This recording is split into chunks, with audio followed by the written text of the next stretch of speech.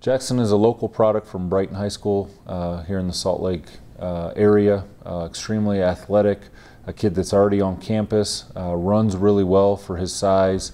Uh, when you look at his film, you can see he's extremely dominant uh, against the competition he's playing. Our offense um, really looks for tall, athletic tackles, and he fits that mold. With the wingspan that he has, especially in pass protection, it, it, does, you know, it's a huge advantage for for him in terms of keeping that defensive, you know, lineman, defensive end, whatever it might be, away from his body, uh, you know, and continue to move his feet so that, uh, you know, in pass protection, it's, it's a huge advantage.